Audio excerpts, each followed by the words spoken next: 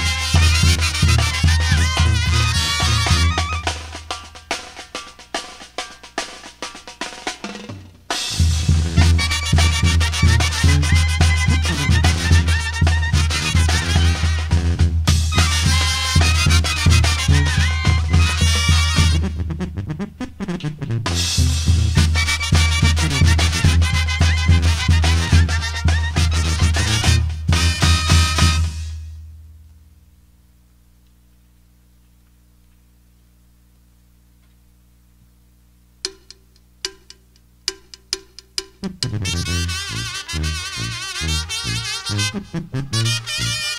you.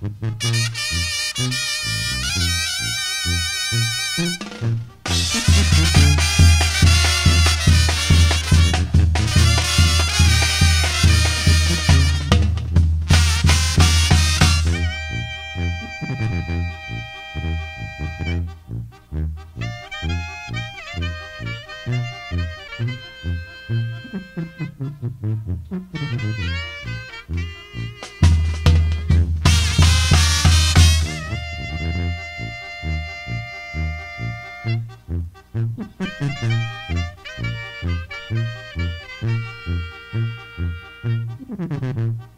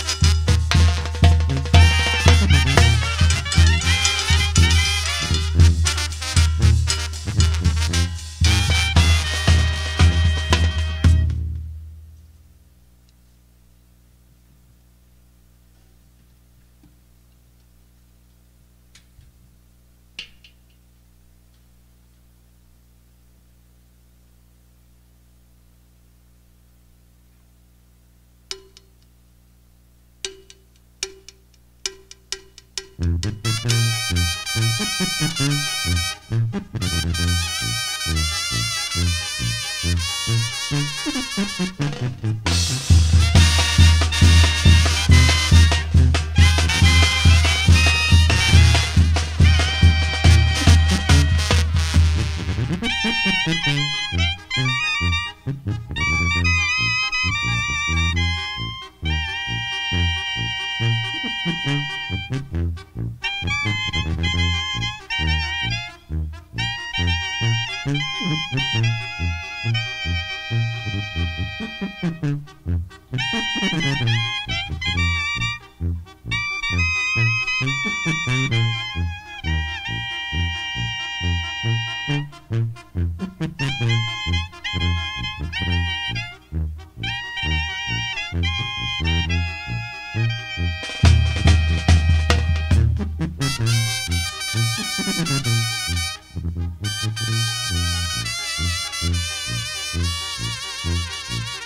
Mm-hmm.